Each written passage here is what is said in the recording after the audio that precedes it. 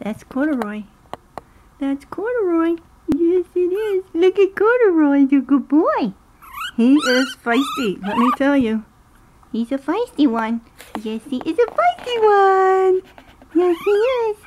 Yes. Say, I. This is how he's been since I started tube feeding him. He just wants his own way and just wants to do what he wants to do. And don't bother me, huh? Yeah, say don't bother me. Good boy. He's a good boy.